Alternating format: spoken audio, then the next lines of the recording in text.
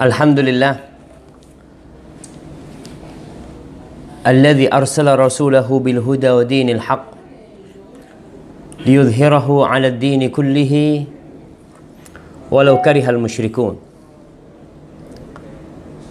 Segala puji bagi Allah Jalla Jalaluh yang telah mengutus Rasulnya dengan petunjuk dan agama yang benar agar Allah memenangkan agamanya di atas seluruh agama.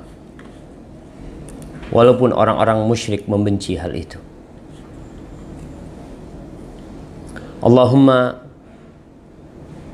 salli wa sallim ala sayyidina Muhammadin wa ala alihi wa ashabihi ajma'in. Semoga salawat dan salam senantiasa tercurahkan untuk baginda Nabi kita Muhammad alaihi salatu wassalam dan keluarga beliau. Orang-orang yang mendampingi Nabi alaihi salatu wassalam berjuang sampai titik darah penghabisan harta mereka ditinggalkan. Nyawa mereka dikorbankan demi untuk mendapatkan sesuatu yang lebih indah dari segalanya yaitu keridhaan dan rahmat ilahi. Amma ba'd jamaah rahimakumullah kita hidup di akhir zaman yang kita tidak mengetahui berapa yang tersisa dari umur dunia ini. Tapi yang jelas kita diperintahkan untuk terus beribadah. Tidak mengenal waktu dan tempat. Selama hayat masih dikandung, dikandung badan, maka seorang muslim wajib untuk terus beribadah. Allah mengatakan wa'bud rabbaka hatta ya'tiyakal yaqin. Beribadahlah engkau mengabdi kepada Allah sampai datang kematian kepadamu. Ahibati fillah, para jamaah rahimakumullah. Apa yang seharusnya kita persiapkan di masa yang 1400 tahun yang lalu?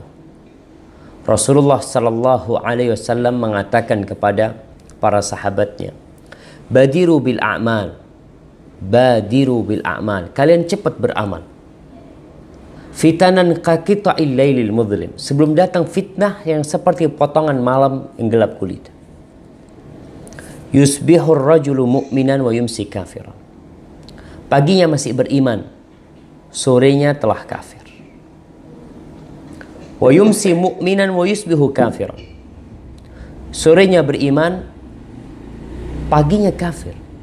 Subhanallah, dalam jangka waktu yang sangat sempit sekali orang menjual agama, berubah. Apa yang terjadi? Ya bi'udinahu bi'aradin minad dunya. Dia jual agamanya dengan sebagian dari potongan-potongan dunia yang sangat fana ini. Jamaah rahimakumullah, kita sebagai umat Islam, kita punya keluarga Bagaimana kiranya kita menyelamatkan diri kita dan keluarga kita dari fitnah yang merajalela. Yang hampir tidak ada rumah kecuali fitnah itu masuk ke dalamnya. Tentunya orang tua dituntut. Para suami dituntut. Para istri dituntut untuk menghadapi semua itu.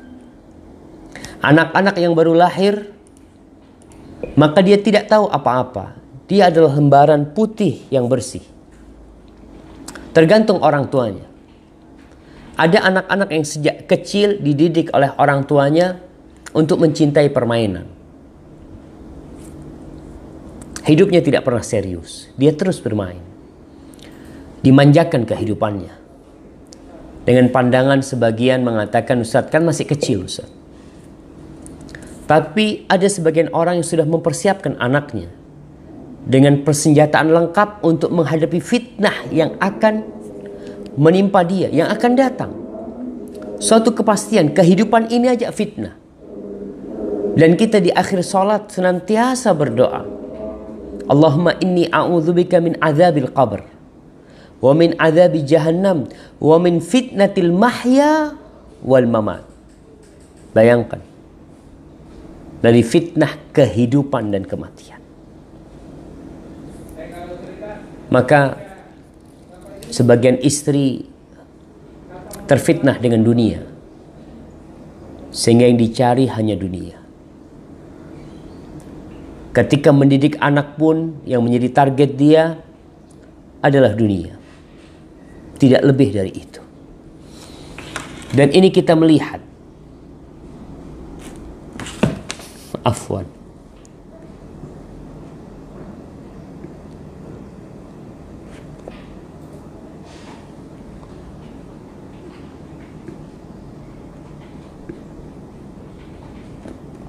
Bentar jamaah. Masya Allah. Ada sesuatu yang terjatuh.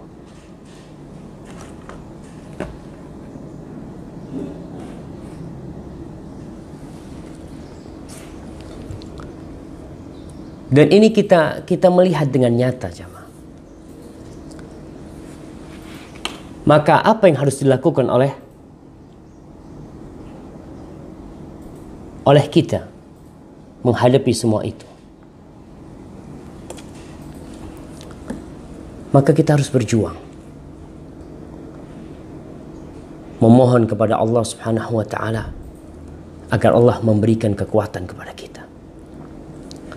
Kalau tidak, maka yang aji yang aji yang akan jadi korban adalah diri kita dan keluarga kita. Ya Yarhamukallah.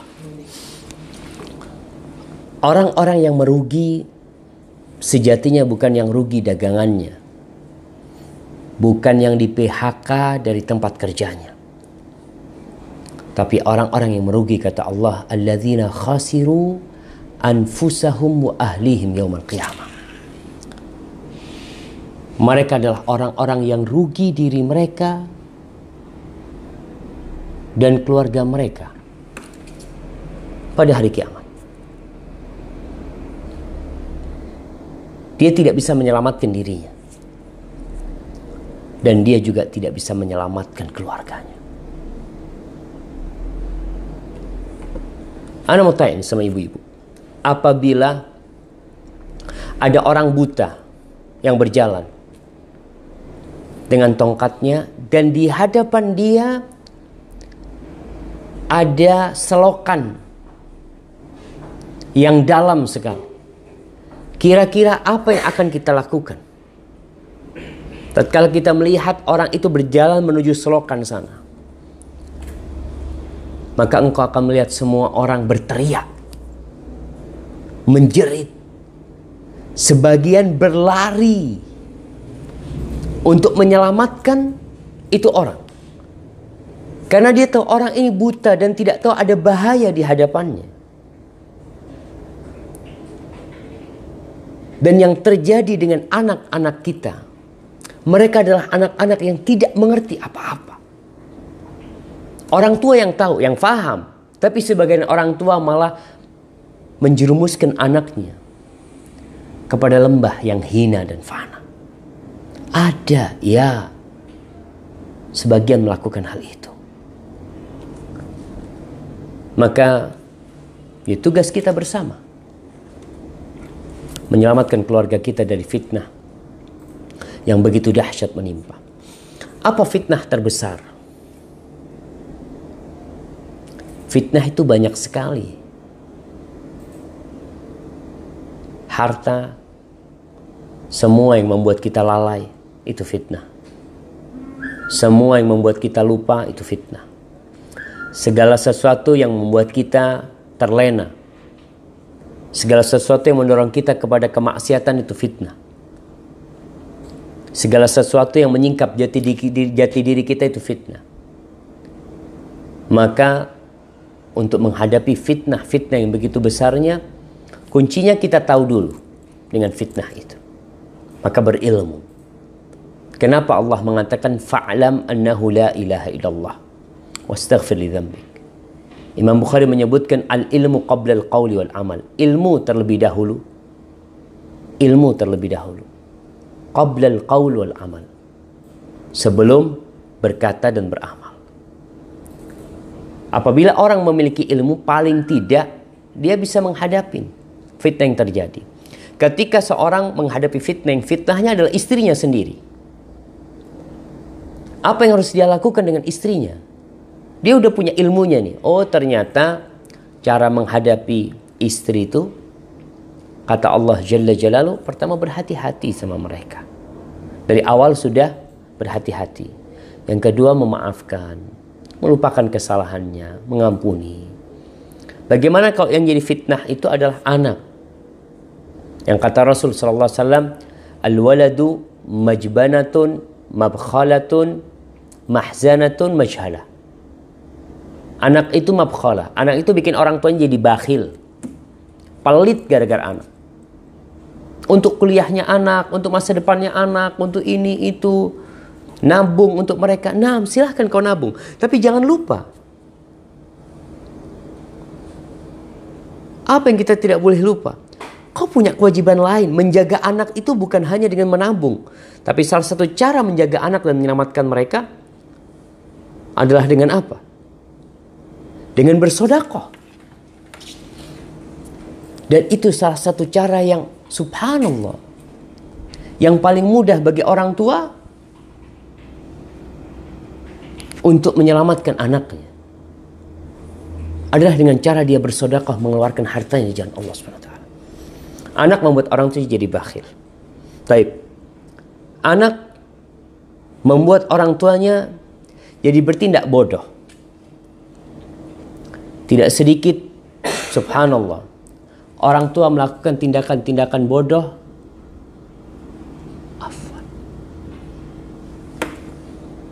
Sehingga dia melakukan berbagai macam kemungkaran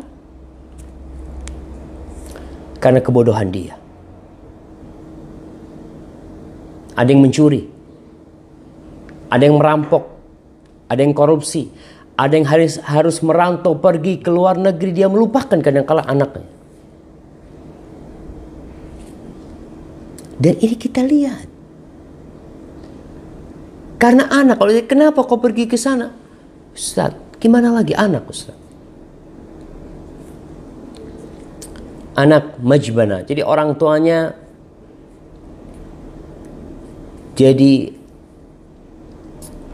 Astagfirullahaladzim. Jadi pengecut. Tidak mau berjuang. Tidak mau berdakwah. Tidak mau berkorban gara-gara anak anak-anak yang membuat mereka tidak mau melakukan hal itu. Kemudian mahzana, anak jadi sumber kesedihan. Bagaimana orang tua kesedihan yang menimpa dia semuanya gara-gara anaknya. Tidak pernah dia bersedih tatkala melihat agama Allah dilecehkan. Tidak pernah dia menangis tatkala melihat saudara-saudaranya kaum muslimin dibantai. Nggak ada. Biasa-biasa aja. Sibuk dengan dunianya, tiap hari tetap memikirkan dagangannya, anak, dagangan anak, dagangan anak. Ke mana Allah? Ke mana saudara-saudara kaum muslimin? Maka hendaklah dalam menghadapi fitnah kita tahu dulu tuh apa yang kita hadapi. Ketika kita sudah tahu, kita punya ilmunya, solusinya udah diberikan oleh Allah dan Rasulnya, maka insya Allah untuk menghadapi yang lainnya akan lebih mudah. Problematika di rumah tangga tidak pernah selesai. Jangan dipikirkan bahwa di rumah tangga Rasul SAW tidak ada keributan. Ada sedikit Aisyah mengangkat suaranya. Hafsah pernah melakukan uh, tindakan seharusnya dia tidak melakukannya sehingga Nabi sempat menceraikannya. Bagaimana Nabi SAW dengan Fatimah, dengan menantunya, dengan Ali bin Abi Thalib. Maka anak tidak akan panjang lebar.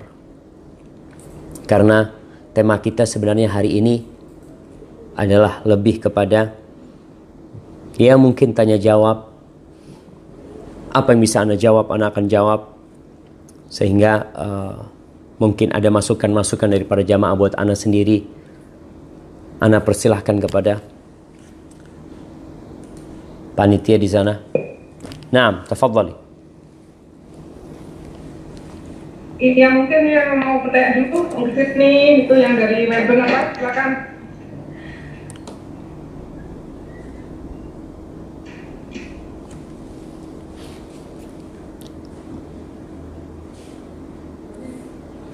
Tadi dulu Evi. Pon dulu. Pon dulu Evi. Oh di dulu. Iya. Orangnya baru. Yang Sydney gimana? Bertanya dulu. dulu. Pon, pon, eh, sebentar Evi ini. Ya udah Kak, silakan. silakan.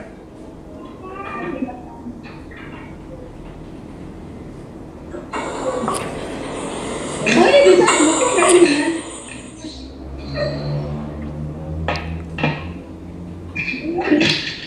Silahkan. Sampai Brisbane ada pertanyaan ya.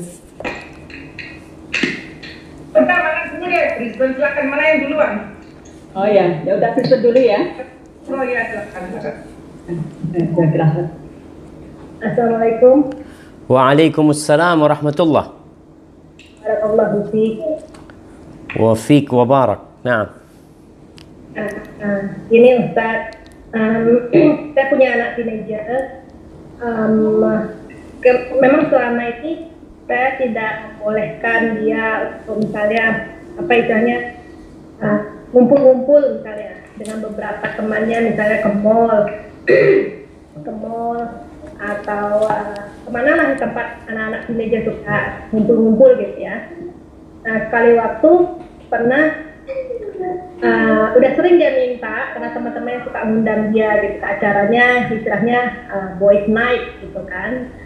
Nah, di rumah orang nah, orang tuanya ini ada sih yang yang jadi hostnya ya yang jadi tuan rumah ini ada. Jadi kata saya saya ngomong dengan orang tuanya katanya oh ya kami di kamar atas. Nanti anak-anak dibawa aja sekali-sekali kami uh, kontrol kata si orang tuanya ini ya Oke lah, karena saya sudah dapat kepastian seperti dari orang tua si anak ini, akhirnya saya uh, izinkan anak saya uh, apa boys night hang around gitu ya dengan teman-temannya. Waktu-waktu uh, saya tanya lagi sama anak saya, mau pergi lagi nggak? Nggak ada diundang. Oh enggak, kata anak saya. Nah itu tiba-tiba ada suatu waktu saya lagi ada kayak apa ya, ada berdebat lah, saya agak marah dengan anak saya. Karena dia minta lagi, kenapa teman-teman saya boleh pergi ke mall sana nonton bareng-bareng, saya nggak boleh katanya gitu. Sementara yang ngumpul-ngumpul ini pun ada yang hafiz, Ustaz. Jadi hafiz hafiz ngumpul gitu. Tapi saya udah bilang, walaupun dia hafiz, nggak menjamin dia seperti kayak orang jadi malaikat gitu kan. Naam. Dan saya tahu orang-orang mereka ini gitu. Dan itu uh, akhirnya anaknya terceplos. Tahu nggak mami, waktu boys night yang dulu, sebenarnya saya sudah uh, diajak teman, nggak tahu bahasa Indonesia apa ya, vaping. Vaping itu kayak rokok yang buatan dulu Ustaz. Bukan ganja. Bukan fitting yang rokok. Iya, rokok anu itu. Ya, kita jadi uh, keceplos dia bilang, aku mami tahu aja ya. Kemarin tuh saya tuh uh, diajak teman-teman saya vaping, katanya rasanya watermelon gitu, gitu kan. Saya kan terkejut, tapi kalau pernah nggak mau nunjukin saya terkejut gitu kan. Nah. Jadi membuat saya makin yakin nggak akan saya bolehkan lagi anak saya gitu kan. Nah ini gimana Ustaz? Gimana? Soalnya teman-teman ini dari orang melihat mereka anak yang baik-baik gitu kan, tapi rata-rata orang tuanya nggak tahu gitu loh Ustaz.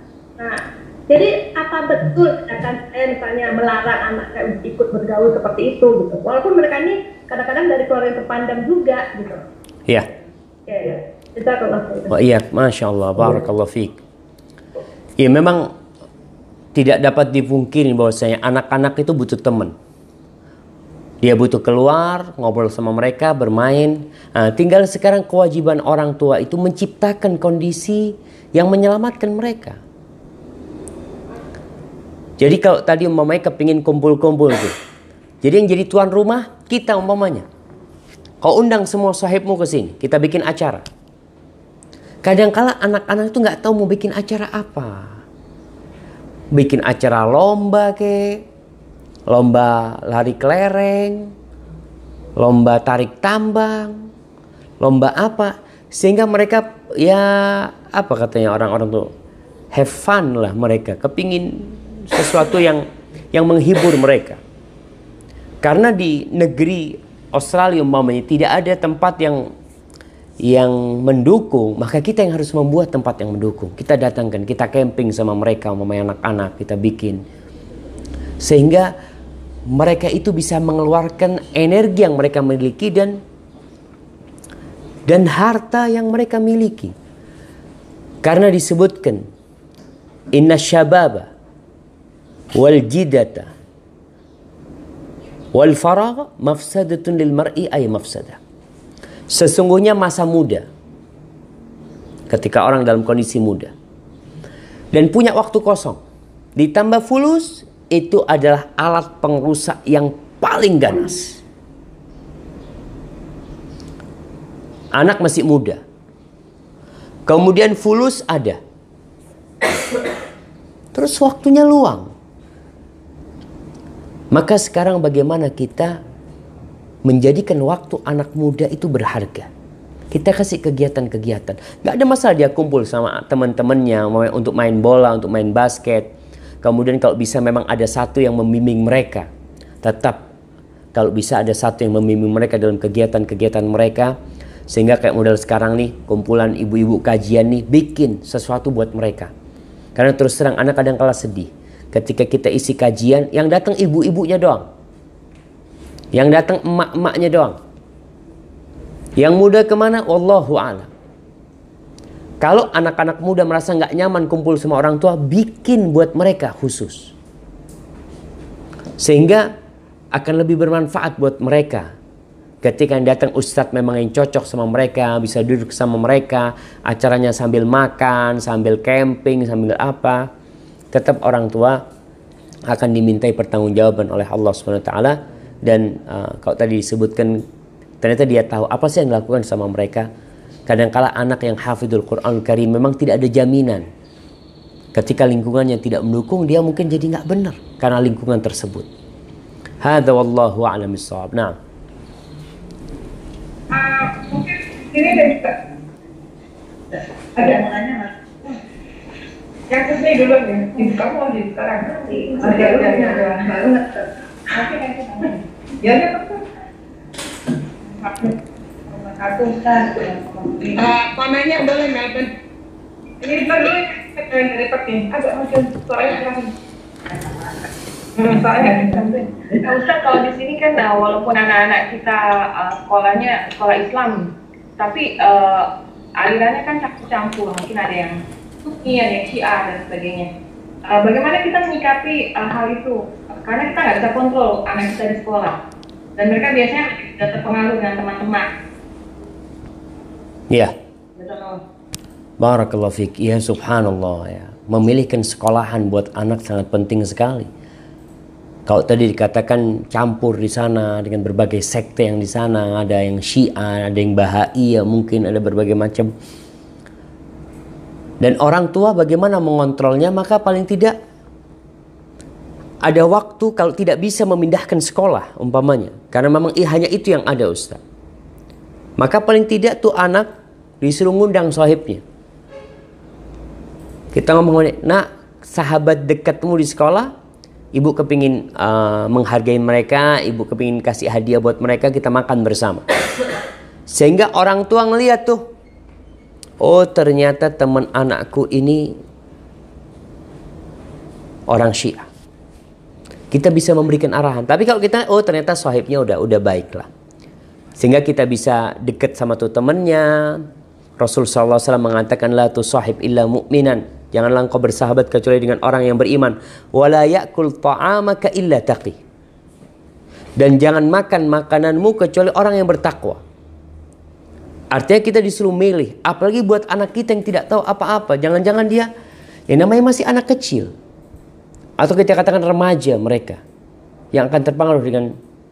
Jadi kalau kita tidak bisa memindahkan sekolah mereka. Tidak ada peluang. Hanya itu sekolah satu. Apa nggak bisa homeschooling? Buat mereka.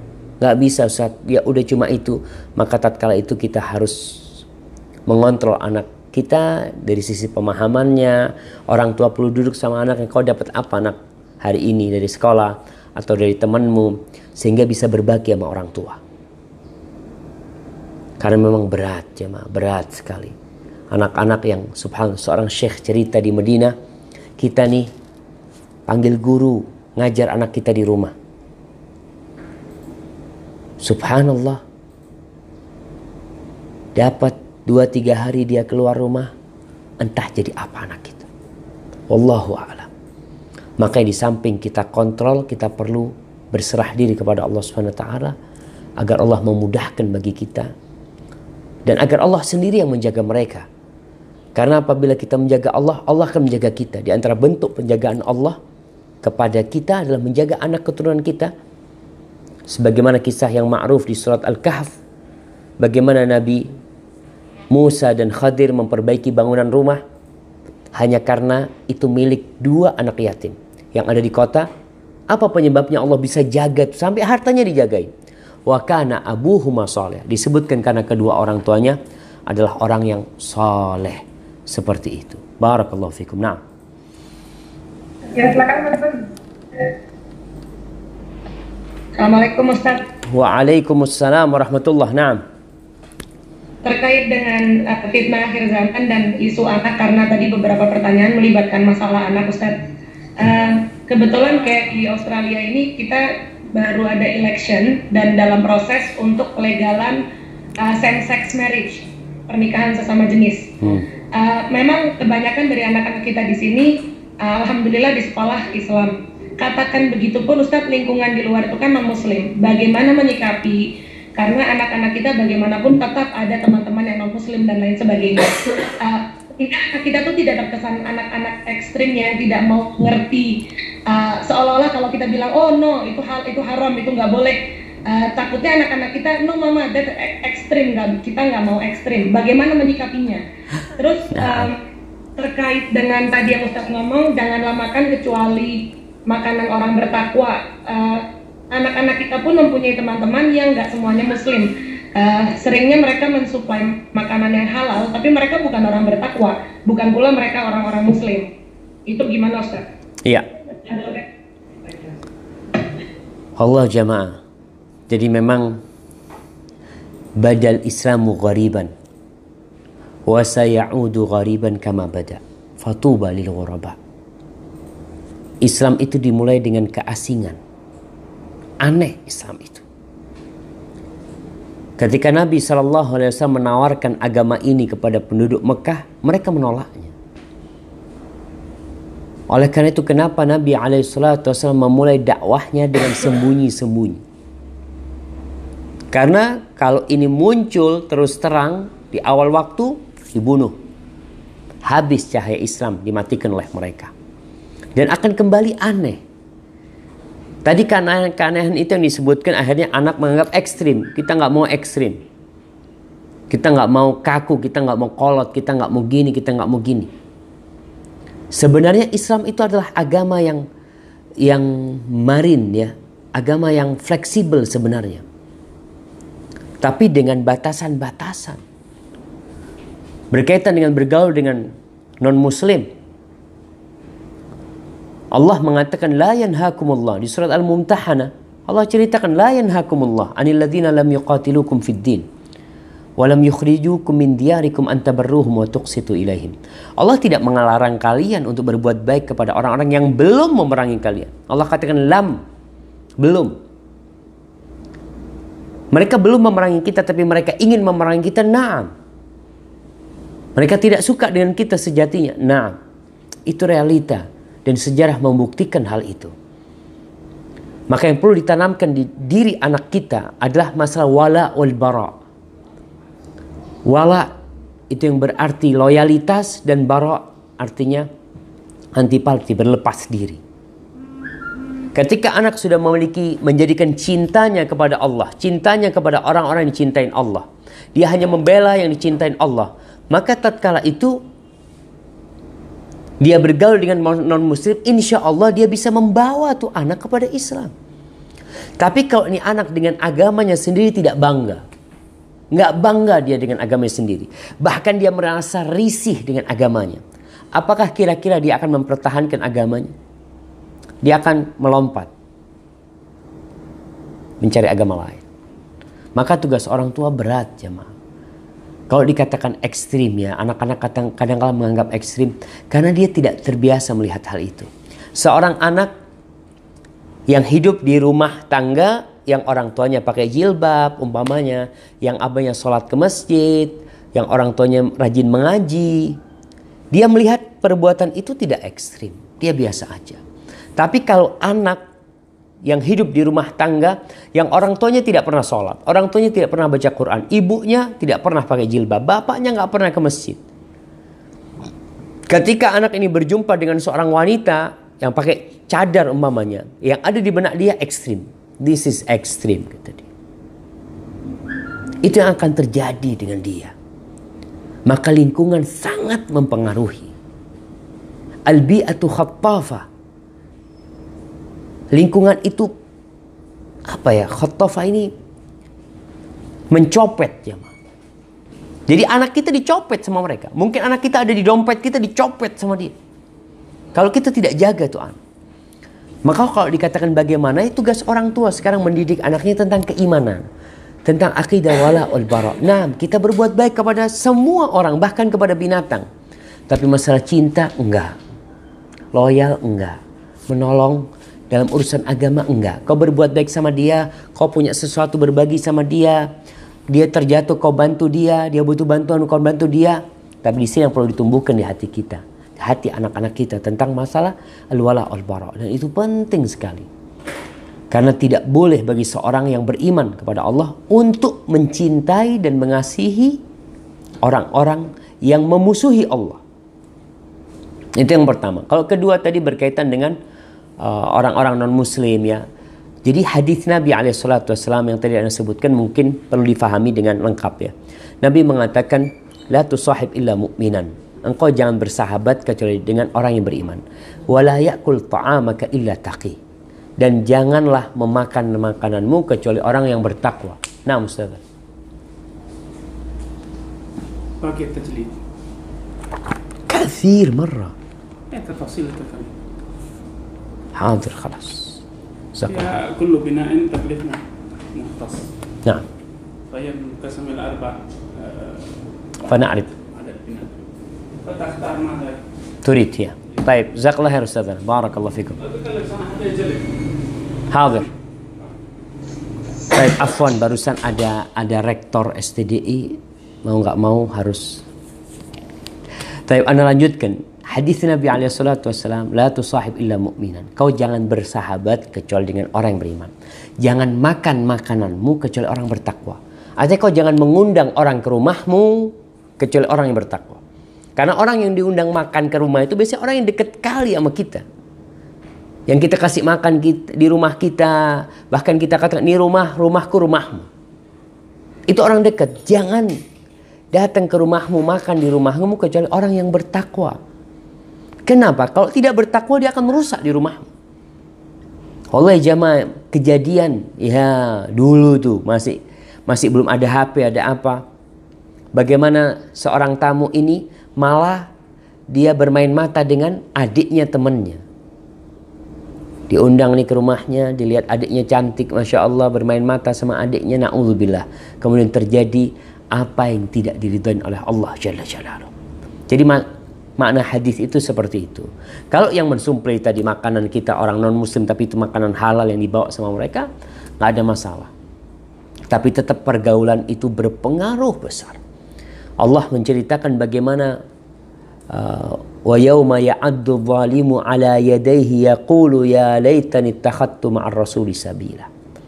Bagaimana orang itu menyesal nanti pada hari kiamat menggigit tangannya, memakan tangannya, berharap aku bersama Rasul SAW. Andai kata aku tidak berteman dengan fulan, tapi sudah selesai. Kiranya seperti itu. Hadza wallahu alam Jadi perlu menanamkan nilai-nilai Islam. Islam itu baik sama orang lain, menghargai yang lebih tua, menyayangi yang lebih muda. Muslim non muslim kita harus menjaga hak-hak mereka. Tapi cinta tetap kepada Allah dan orang-orang yang mencintai Allah. Kiranya seperti itu. Allahu a'lam bishawab. Yang dari Pak Ustaz ya. Assalamualaikum warahmatullahi wabarakatuh Ustaz. Waalaikumsalam warahmatullah. saya mau bertanya nih uh, masalah anak sih. Uh, jadi di komunitas Muslim kita itu kan masih ada yang merayakan ulang tahun. Dan Iya. sedangkan keluarga kami itu tidak ada ulang tahun, tapi anak ini uh, diundang ulang tahun sama temannya yang sesama Muslim. Nah itu gimana? Sedangkan kita tidak bolehkan, tapi anak ini berdalih ini undangan gitu. Jadi Iya. undangan itu harus datang gitu. Itu gimana? Ustaz? Iya, subhanallah, subhanallah. Barakallah fiik ya. Iya. Eh, ya kalau kita bicara ulang tahun ya. Kapan sih ulang tahun tuh datang ke Islam? Nenek-nenek kita nggak pernah ulang tahun dulunya. Tapi kembali lagi adalah pengaruh dari dari tempat lain yang mempengaruhi budaya umat Islam. Terus bagaimana kalau masih ada umat Islam yang merayakan ulang tahun? Iya masih ada memang. Ya tugas kita memberikan masukan kepada mereka. Lalu si anak ketika dilarang untuk datang, mama dia mengatakan, itu tadi Ustaz, bukankah hadis Rasul SAW, hakul muslim alal muslim sit, hak seorang muslim atas muslim yang lainnya ada berapa? Ada ada enam. Salah satunya, idza da'aka fa'ajibhu. Kalau mengundangmu kau datang. Maka kalau memang si anak itu berdalih dengan dalil itu, maka perlu difahamkan bahwasanya undangan itu macam-macam. Ada undangan ketaatan dan dalam hadis itu lebih kepada undangan walimah. Dan walimah pun yang boleh didatengin adalah walimah yang tidak ada kemaksiatan di dalamnya. Kita diundang walimah yang di situ ada pesta umpamanya, ada penari ularnya atau apa, maka kita nggak boleh datang. Kalau kau mau datang menghormati sebagai temanmu, kau datang sebelum acara. Kau datang ke sana, anak mohon maaf, anak anak nggak bisa datang. Ya dengan berbagai alasan, kalau memang bisa memberikan masukan kepada mereka, kita kasih masukan kepada mereka. Tetap dengan harapan uh, menjaga hubungan baik sama mereka. Karena terus terang banyak di antara mereka yang tidak mengerti. Dan kita ketika memberikan masukan kepada orang-orang yang tidak mengerti, maka kita harus melihat orang ini gimana sih? Orang ini belum sholat, kau kasih tahu tentang ulang tahun nggak berguna. Kau kasih tahu tentang sholatnya dulu, gimana dia jaga sholatnya. Setelah itu baru berpindah ke yang lainnya, ke yang lainnya. Jadi memang yang kita perlu tekankan ya anak kita sendiri sebenarnya kita kasih pandangan yang benar ya. Ya setelah itu kita berdoa kepada Allah. Karena ada orang tua yang sudah berusaha ngasih ngasih pengarahan yang baik kepada anaknya, tapi anaknya tetap tidak ikut ya. Dan perlu dikasih kegiatan lain. Yang penting tadi takdimul badil. Dalam Islam itu ada yang namanya takdimul badil, memberikan ganti. Apa gantinya? Banyak ganti yang lain mamanya untuk pertemuan. Kadang kalau orang ustadz kalau kayak gini kita nggak ada pertemuan, kau bikin pertemuan. Kau bikin tasyakuran, kau bikin apalah. Tapi tidak dalam momen tersendiri yang tadi dikatakan memperingati hari ulang tahun seseorang ya. Yang hal itu sebenarnya tidak disyariatkan dalam Islam dan yang anak ketahui itu adalah dari barat dan orang-orang hanya hanya meniru mereka sebenarnya bahkan lagu ulang tahun yang aslinya ya dari dari dari mereka ya. Wallahu a'lam bishawab. Nah, Kalau kalau memberi hadiahnya saja boleh. Nah, iya. Kalau kita mau kasih hadiah, maka berikan hadiah tidak dalam acara ulang tahun. Artinya kita memberikan hadiah yang kita katakan nggak ada hubungan sama ulang tahun. Dikasih hadiah sama teman. Karena Rasul SAW mengatakan tahadu tahabu. Kalian saling berbagi hadiah karena itu akan menumbuhkan cinta di antara kalian. Jadi yang kalau kita mau kasih hadiah, kasih hadiah. Umpamanya ulang tahunnya udah lewat nih. Udah berapa hari Anda mau kasih hadiah sama dia dan kita sampaikan ini tidak ada hubungan sama ulang tahunmu, tapi ini ada hubungannya sama cintaku kepadamu. Barakallahu fikum. Nah, boleh Sydney? Ya boleh, saya silakan. Assalamualaikum Ustaz. Waalaikumsalam warahmatullahi wabarakatuh. Uh, Ustaz saya mau tanya mengenai istri boleh tidak minta cerai kepada suami karena hal ekonomi. Uh, hal ekonominya di sini si istri udah suruh suami itu bekerja. Dulu emang anak-anak masih pada kecil, dia katanya kepengen bantuin si istri untuk look after anak, maksudnya anterin ke sana ke sini karena si suami si istri tidak bisa bawa mobil maksudnya nyupir gitu Ustaz. Iya. Nah sekarang anak-anak udah pada besar, alasannya dia karena mau look after orang tuanya. Jadi dia tidak bekerja.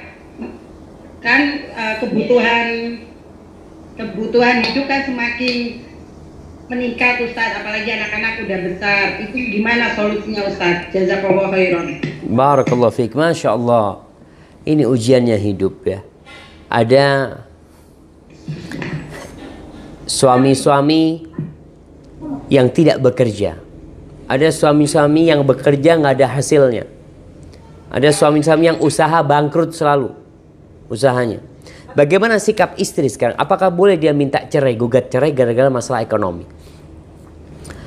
Jamaah rahimakumullah.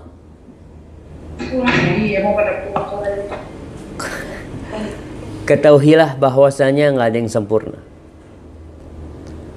Kalau permasalahan ekonomi itu masih bisa ditoleransi, artinya Alhamdulillah saat istri anak nggak kerja tapi anak punya penghasilan. Sehingga masalah hidup masih uh, bisa di backup lah dengan hasil usaha istri. Apabila suami sudah berusaha tapi dia nggak dapat juga pekerjaan yang cocok buat dia atau yang pas sama dia, Rasul Shallallahu Alaihi mengatakan, la yafraq mu'minun mu'minah in kariha minha khuluqan radhiya minha akhar. Janganlah seorang lelaki yang beriman membenci istrinya yang beriman dan sebaliknya. Apabila ada perilaku dari pasangan hidupnya yang tidak dia sukai, bukankah banyak perilaku-perilaku lain yang dia sukai? Artinya kita diperintahkan untuk melihat kepada kelebihan bukan kekurangan. Namun kalau kekurangan yang ada pada diri pasangan kita itu menyebabkan kita nggak tahan. Akhirnya kedua pasangan ribut selalu dan menyebabkan kewajiban-kewajiban istri tidak dilaksanakan, hak-hak suami tidak ditunaikan, maka tatkala itu kalau memang tidak ada solusinya kecuali harus pisah, pisah. Tapi kalau masih bisa dan itu yang lebih baik, maka bertahan. Jadi kalau masalah ekonomi, masalah yang sangat ringan sekali, asalkan tadi ada yang membackup untuk dimakan. Apakah sekarang kalau bercerai, ekonomi semakin baik buat istri? Atau tidak? Karena rasa tidak. Ekonomi tidak membaik dengan perceraian itu sendiri. Gimana? Enggak, enggak ngerti. Dia pikir. Ibu-ibu tolong yang di sini habis bertanya di mute ya, tolong. Daripada saya. Tolong ibu-ibu ya. Taib, umi-umi ini. Umi, umi-umi akhirnya konsultasi sendiri di sana mereka. Taib, buat umi-umi ini. Jadi apakah dengan perceraian ekonomi akhirnya menjadi lebih baik? Enggak. Jadi kadang kala ingatlah dengan anak-anak bahwasanya ketika bercerai yang jadi korban itu anak-anak. Dan masalahnya masalah yang tidak terlalu berat. Sahabat Nabi yang bernama Ibnu Mas'ud radhiyallahu taala anhu bukan orang yang kaya. Bahkan dia tidak bisa mencukupin istrinya. Istrinya yang jualan tenunannya dan itu dibuat makan oleh mereka. Maka apabila seorang istri merasa duit dia yang digunakan untuk suaminya, maka itu bernilai sedekah. Dan sedekah itu akan ber, akan mulia ketika kau berikan orang yang terdekat denganmu. Bapak dari anak-anakmu. Ya sabar intinya memang jamaah. Sabar. Ustaz, anak udah sabar Ustaz. Udah, aduh, udah bertahun-tahun nih Ustaz. Ya, kalau sabarnya habis, kata orang Surabaya, kulaan mana? Sabari wis entek Ustaz. Di kulaan mana? Kulaan lagi. Sabar lagi terus tata hatinya demi menjaga. Karena sesuatu yang paling dicintain iblis adalah perceraian itu sendiri. Apalagi masalahnya bukan masalah yang besar sebenarnya. Hada wallahu a'lam bissawab. Na'am.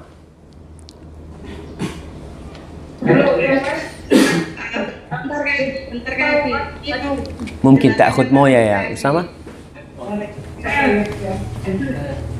Uh, Ustadz ini maksudnya ini suami nggak ada keinginan untuk bekerja Ustadz dia nggak mau cari pekerjaan. Ya, coba anak mau tanya nih. Nemu di mana suami itu? uh, takdirnya Allah Ustadz Iya kan, takdirnya Allah kan? ya Artinya dulu kan mau sama tuh lelaki. Kenapa mau sama tuh laki dulu? kita nggak tahu kalau itu lelaki nggak mau bekerja Ustadz kita tahunya dia ada penghasilan kita dilamar kita kawin Ustadz Masya Allah, Masya Allah. Tapi sholat, sholat tuh suami. Alhamdulillah sholat eh, ya ke masjidnya juga rajin Ustadz Masya Allah. Tapi, Nah, kita kepengen kan suami bekerja Ustadz iya kalau kepingin iyalah. Cuma sekarang kan nggak mau kerja dia. ya itu gimana cara ngomong ke suami agar suami bekerja kan udah pada besar gitu Ustadz Siap. Jadi kalau bicara eh, seorang istri yang ingin merubah suaminya, kita perlu berusaha. Jadi apabila sang istri tidak sukses ngasih tahu suaminya, mungkin harus lewat tangan lain. Harus orang lain yang ngasih tahu. Karena kadangkala ya suami merasa nyaman sampai rumah ada makan. Sekali-kali di rumah jangan ada makanan. Jadi suami pulang datang nggak ada makanan. Terus ke mana? Ya nggak ada fulus bang. Kira-kira bisa nggak kayak gitu? Ibu-ibu. Nggak maksudnya dikondisikan bagaimana suami sekarang kan tidak bekerja karena merasa nyaman kan? Ya karena di sini Ustadz kalau suami istri tidak bekerja kita dapat penghasilan dari government dari pemerintah Ustadz Berarti ada fulus lah. Ya tapi kan itu nggak bagus Ustadz kan kita maunya fulus maksudnya uang dari suami sendiri hasil kerja keras suami kita Ustadz Ya sekarang kan tadi disampaikan kalau kita inginnya kayak gitu. Tapi ternyata itu tidak bisa kita dapat. Dan alhamdulillah suami dapat penghasilan walaupun tadi penghasilannya bukan dengan memeras keringatnya tapi karena kesihannya pemerintah kepada orang-orang yang tidak bekerja. Maka anak rasa eh, kalau dikatakan boleh nggak minta cerai dalam kondisi seperti ini sepertinya enggak lah ya. Jangan. Karena walaupun suami tidak bekerja, ternyata kewajiban suami memberikan nafkah tetap dia lakukan. Tapi tadi bukan dari hasil kerjaan dia. Ada seorang anak mungkin Ustadz, suami anak ini Ustadz selalu dikasih sama orang tuanya, males dia Ustadz. Ya Alhamdulillah, dari mana pun dia dapat uang selama halal, maka insya Allah itu berkah buat kau. Kau ingin suami berubah, maka pakai berbagai macam cara tadi dengan datang ke seorang ustadz yang dekat sama suami, apalagi suami sering ke masjid umpamanya. Ibunya datang kepada siapa yang menjadi kepercayaan suami. Mudah-mudahan dengan cara seperti itu suami bisa berubah insya Allah sambil terus didoain, disodakoin, dipuasain suaminya. Puasa sunnah Senin Kamis doa minta sama Allah ya Allah mudah-mudahan suamiku berubah. Dan ketika berdoa minta suaminya ngaminkan, bang aku mau doa bang, kau aminkan bang ya. Doa Bismillah. Ya Allah aku ingin suamiku berubah ya Allah. Suaminya mengaminkan insya Allah mudah-mudahan berubah. Barakallahu fiik. Ya mungkin yang upgrade ya, upgrade dulu. Upgrade dulu ya. Ada ini ya. Assalamualaikum Assalamualaikum. Waalaikumsalam warahmatullah. Eh, saya ingin eh, mendapatkan penjelasan Eh, kan ini memang dengan lingkungan yang non muslim dan kemudian yang pengaruh yang tadi tentang itu tadi eh, pernikahan sama jenis eh, bagaimana cara terbaik untuk menjelaskan ke anak-anak tentang hal ini mungkin eh, disertai dengan eh, dalil-dalil dalam Al-Quran terus kemudian yang kedua seperti Ustaz katakan yang pertama bahwa sekarang itu kita seperti menggenggam bara api. Eh, Kira-kira dari perjalanan umat manusia sendiri, kita tuh berada dalam tahap mana sampai nanti kemudian hari kiamat? Eh, karena mungkin eh, saya pernah membaca bahwa suatu saat nanti Islam itu akan berjaya lagi. Eh, setidaknya itu akan memberikan perasaan optimis. Maksudnya dengan kondisi kita sekarang seperti tertindas seperti itu. Kalau misalnya kita bisa mengetahui hal itu kemudian menjelaskan ke anak-anak setidaknya ada rasa optimis ke depan bahwa bahwa yang sekarang menindas kita itu akan menerima Islam seperti itu. Assalamualaikum warahmatullahi wabarakatuh. Waalaikumsalam warahmatullahi wabarakatuh. Nah, subhanallah ya. Anda mulai dari yang terakhir. Optimisme harus ada di diri umat Islam. Nah, kita husnudzon sama Allah Subhanahu taala.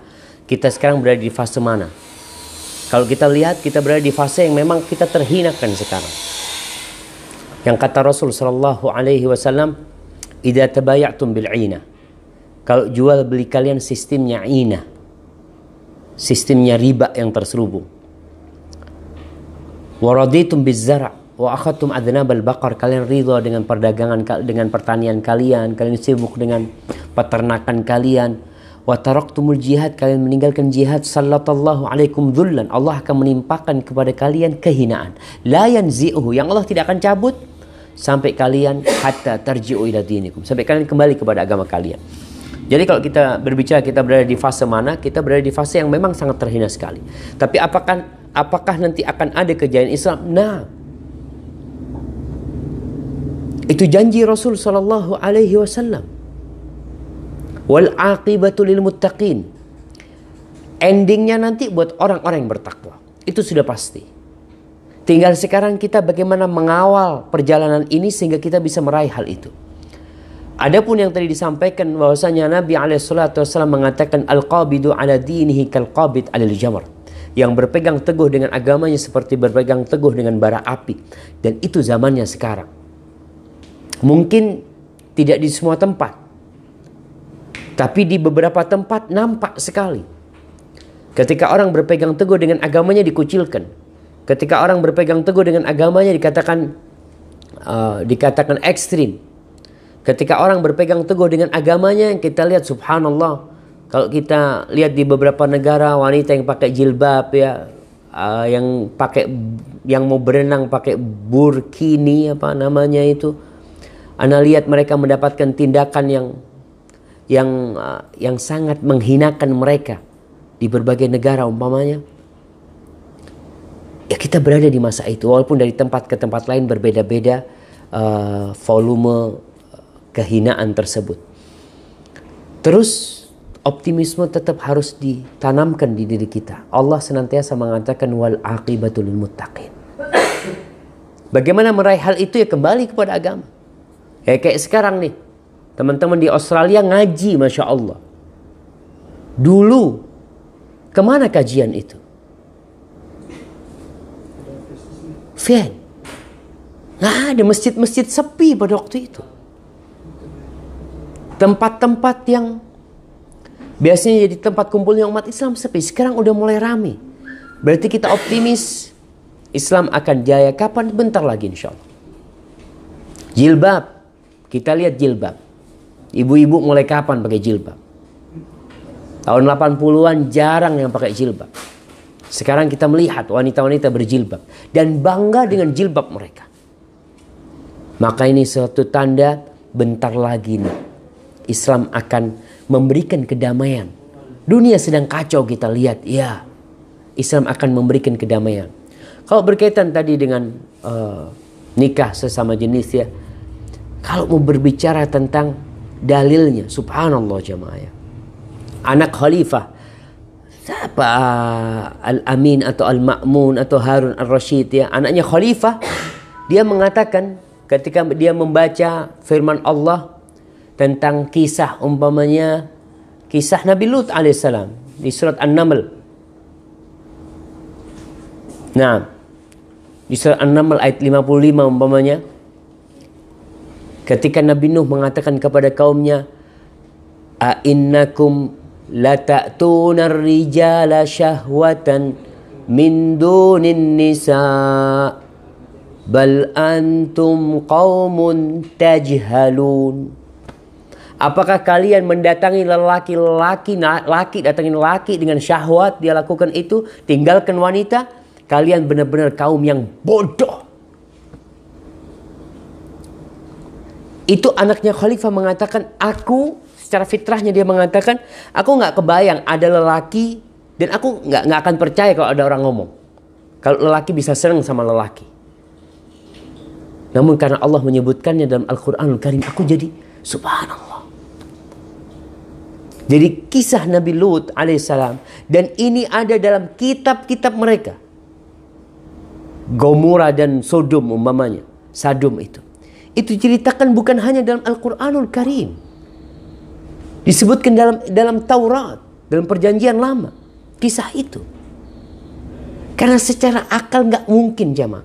Ketika terjadi laki sama laki, perempuan sama perempuan, habis manusia. Generasi itu habis. Laki sama laki jadi hamil tuh laki. Perempuan sama perempuan hamil tuh perempuan. Nggak ada. Hadza wallahu a'lam bisawab. Ya, banyak pokoknya ambil di Al-Qur'an kisah di surat umpamanya surat Ibrahim, surat Al-Anbiya, surat Syu'ara, Syu'ara ya.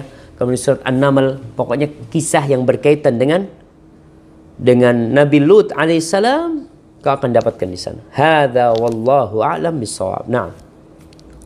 Agus ada yang tanya enggak atau ada belakang sebelum Melbourne? Assalamualaikum. Boleh satu lagi nanya, Anda Abang? Oh, oh ya deh. akan Uh, uh, beberapa suami mempunyai pekerjaan di bidang servis, jasa transportasi, taksi, atau pertukangan. Terkadang mereka mendapat customer yang minum alkohol dalam taksi atau perempuan sehingga mereka berduaan non mahram. Bagaimana tanggapan Ustaz? Hmm. Gimana tuh? Allahu Akbar jamaah ya. Ya. Supir taksi kira-kira dia bisa enggak memilih penumpang? Kalau kiranya nggak bisa, Ustaz. Udah aturannya kayak gitu, mamanya. Kalau terpaksa dia naikkan orang yang umpamanya minum alkohol, hanya naik dia di mobil kita, tidak minum di sana. Karena jangan sampai kita melihat kemungkaran, kita biarkan hal itu jamaah. Kalau kita bisa mengingkari, maka ingkari kemungkaran tersebut. Dengan catatan tidak menimbulkan kemungkaran yang lebih besar. Kalau perempuan umumnya, ya kalau kita bisa menolak, kita tolak. Tapi kalau nggak bisa tolak, ya paling tidak, ya para ulama menjelaskan bagaimana supir dengan perempuan yang satu mobil. Usahakan mereka di belakang dan jendelanya dibuka sehingga mereka tidak berkholwat dengan perempuan tersebut. Karena terlihat orang banyak. Yang dikatakan berkholwat ketika tidak ada yang melihatnya. Ketika mereka berduaan saja. Atau ketika kaca mobilnya gelap semuanya. Sehingga mereka berdua benar-benar berkholwat di sana. Maka solusinya tadi uh, dan usahakan jemaah supir ini uh, kalau dia bisa berdakwah di mobilnya dia berdakwah.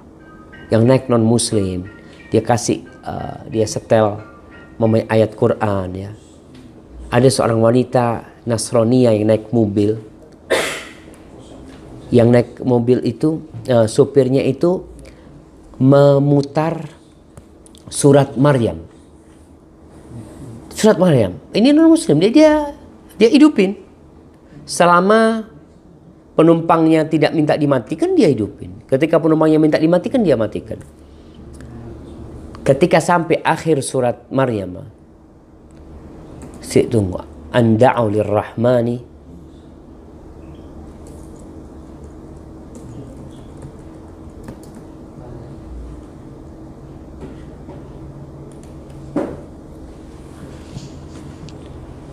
bagaimana mereka uh, menjadikan buat Allah Ar-Rahman anak.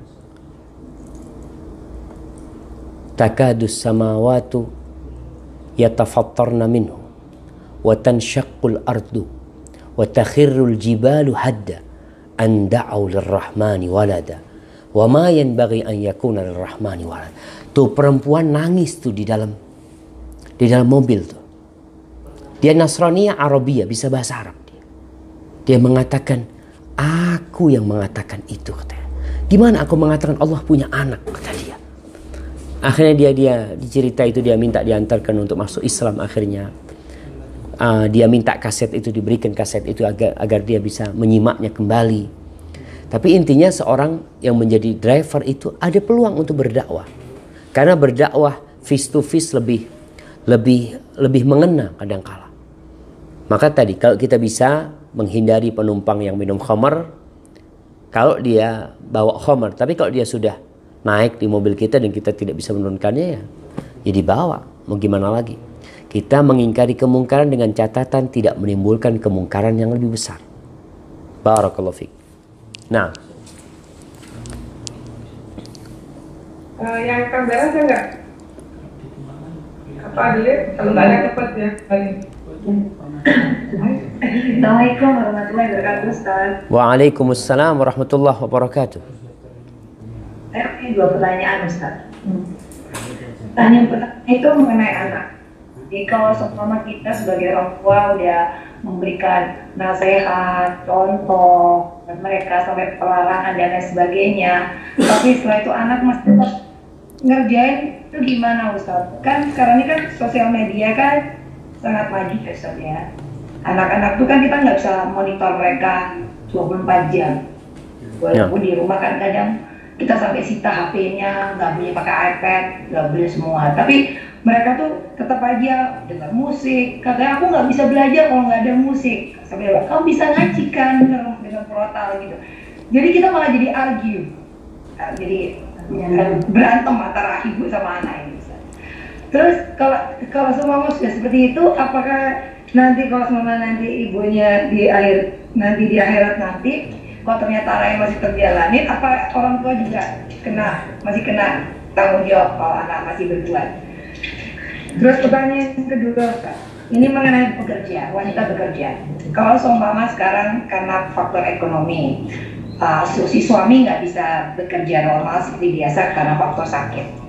Terus mau nggak mau si istri ini harus bekerja berkumpul bersama orang yang bukan muridnya juga mau nggak mau gitu karena karena faktor ekonomi yang sangat mendesak gitu karena suami harus uh, rest di rumah harus nunggu segala macam gitu saat itu gimana pokoknya apa istri itu berdosa Ustaz?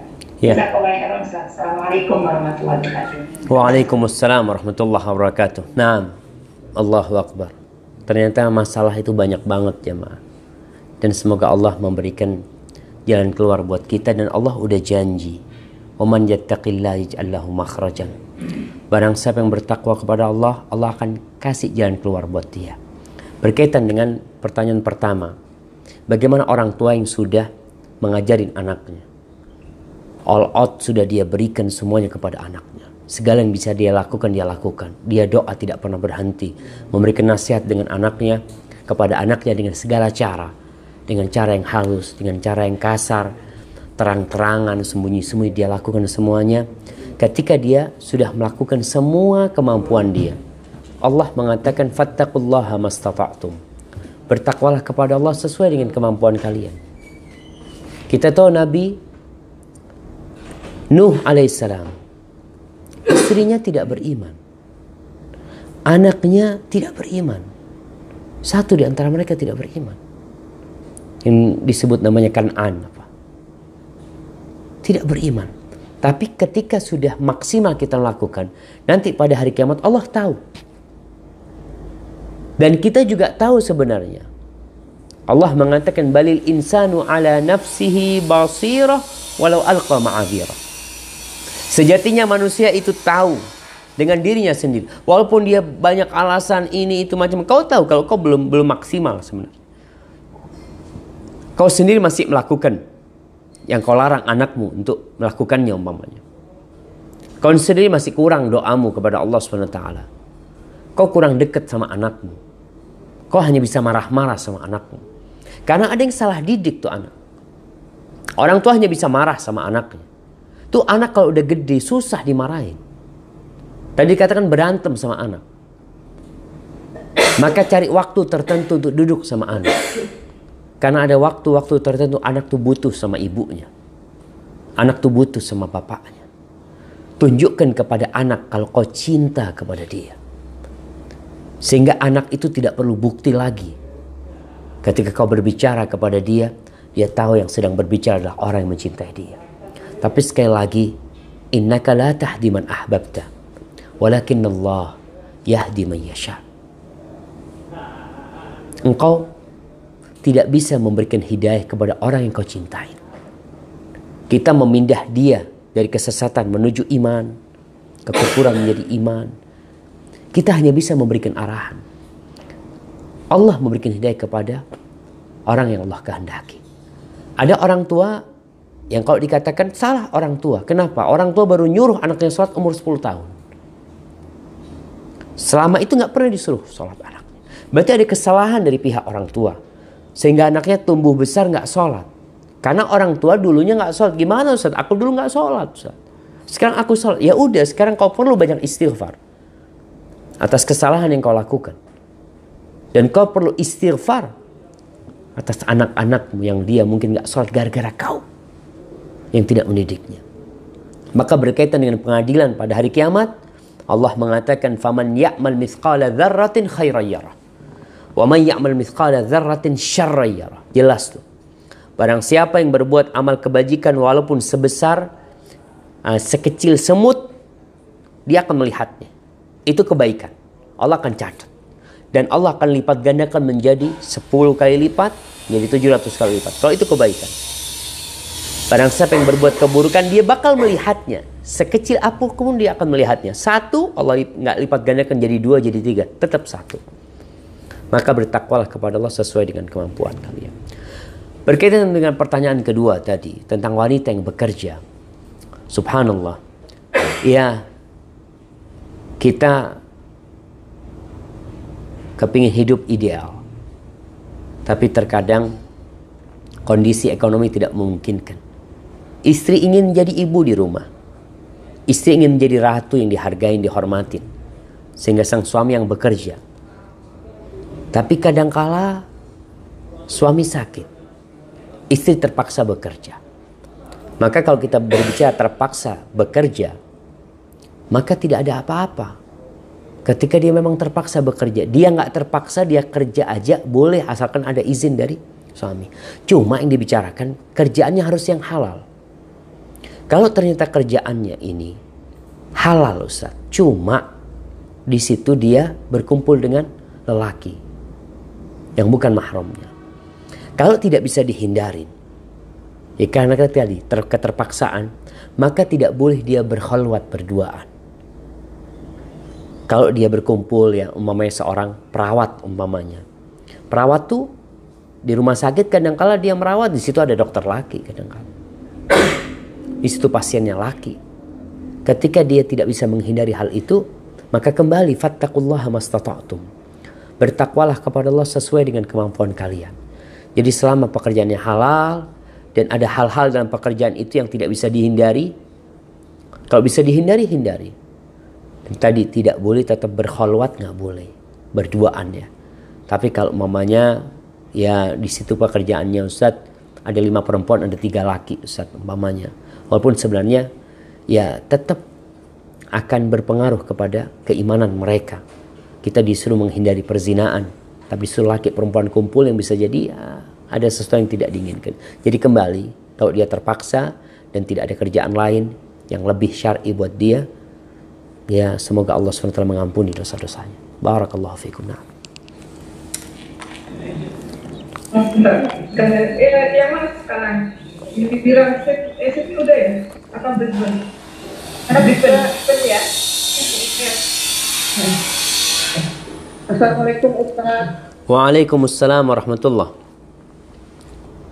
Uh, ini pertanyaan dari teman titipan ya Ustaz ya. Uh, saya ini meminta tolong ditanyakan ke Ustaz. Kebetulan dia menikah dengan laki-laki non muslim.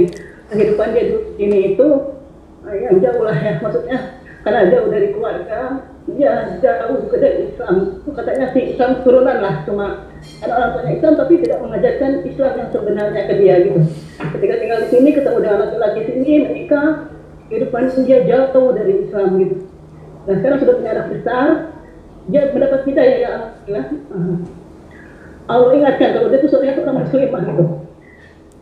Dia sekarang berubah belajar agama mengaji segala macam gitu tapi keluarga suami, suami, anaknya semua menganggap dia ekstrim. Menurutnya orang yang aneh gitu. Jadi keluarganya apa ya, nggak mendukung lah gitu. Ketika dia ada suami untuk ikut kajian atau apa gitu, karena dia orang sini nggak bisa bahasa Indonesia gitu ya. Jadi kamu kan itunya sama orang Indonesia gitu bahasa kami nggak ngerti gitu. Apa yang dominan itu ekstrim harus begini harus begitu memaksa gitu lah. Uh, kita biasa hidup life yang gimana ya terlalu terbuka begitu mereka seperti di apa sih sang dipaksa gitu. Anak-anak semua eh, nggak suka sama mamanya ini gitu kan. Jadi mama ini cuma bisa gimana gitu. Jadi dia berdoa apa ya caranya gitu untuk bisa membukakan itu hati suami dan anaknya? Yang penting anaknya ya karena kan itu punya perempuan gitu. Sekarang tuh sudah buka-bukaan lah bagaimana gitu kan. Jadi ya takut. Suaminya udah masuk Islam? Uh, dulu karena dia dia kan menikah ya atas nama muslim tapi kan cuma itu ya begitu. Enggak enggak enggak enggak legalitas aja. Gitu. Dan memang sih dia juga bilang sama sekolah dulu lagi di Indonesia pun kami saya cuma turun anak istilahnya seperti itu. Ustaz. jadi orang tua pun bagaimana lah dia dia nggak tahu sama sekali Islam yang sesungguhnya. Tapi alhamdulillah dia ketemu teman yang kata Ustaz kan bagaimana ya uh, orang baik ketemu dengan yang baik kalau dia dari buruk kan saya bilang jodoh itu kalau kamu akan ketemu jodoh yang orang baik sama baik yang buruk sama buruk. Kalau itu dulu mungkin dia buruk tapi sekarang dia sudah berubah. Nah. bagaimana merubah yang buruk suaminya ini menjadi baik gitu? Barakallah. atau dia harus melepaskan keluarganya gitu? Dia pergi gitu meninggalkan suami dan anaknya. Atau bagaimana solusinya untuk menghadapi ini gitu? Karena dia sendiri tertekan gitu. Tapi dia sejak apa semua lingkungan dia jadi suaminya itu kan biasa pergi ke pub atau apa teman-teman dia dulu juga yang memang ada campur Indonesia atau bule gitu ya atau orang ini gitu biasa mereka berhangout lah gitu keluar malam ke pub party gitu Iya. atau atau apa dan dia suka menjauhkan kan suami diajak nggak mau anaknya diajak nggak mau gitu jadi dia ya itu jadi seperti orang yang berasing ya berjuang sendiri dan pernah bilang apa saya harus give up gitu apa saya harus berhenti berjuang di sini saya pergi sendiri saya berjuang untuk saya sendiri dan apa harus begitu atau saya tetap harus berjuang untuk anak saya gitu untuk Iya. suami saya karena ini kan pilihan saya gitu Barakallah fik. Ya. Allah ya, subhanallah jamaah. Ya kalau kita berbicara kesalahan sudah terjadi. Kita sekarang tidak berbicara tentang kesalahan itu ketika menikah tanpa memilih agama. Menikah hanya karena wajah, menikah karena harta, menikah karena harkat dan martabat. Kadangkala hanya itu akhirnya yang jadi seperti ini. Kemudian memang tadi disebutkan tuh perempuan bukan bukan orang baik dulunya Ustaz. Jadi sama aja sama dia. Tapi alhamdulillah sekarang dia dapat hidayah. Yang perlu ditegaskan, apabila suaminya itu murtad kembali, maka pernikahan itu batal. Otomatis batal pernikahan itu. Ketika suaminya murtad atau ketika suaminya pura-pura beriman. Jadi sebenarnya enggak enggak beriman. Cuma sekarang untuk legalitas berarti dia bukan suaminya, batal tuh pernikahan tersebut. Itu dalam pandangan Islam. Sekarang bagaimana solusinya?